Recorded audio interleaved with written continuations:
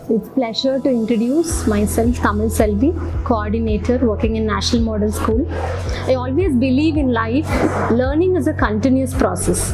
It's truly made possible in National Model School, where it provides a professional work environment with world-class standard. It's me Sukanya, coordinator of class 1 and 2. Take this opportunity to share few things about our school national model. The great uniqueness in our school is students addressing the teachers with their name. That really helps us to build a good rapport with our students. The workspace that is provided here is very positive and proactive. They just carry forward among the students as well. I take uh, this opportunity to thank my school for providing me such a learning platform to mold myself a great teacher.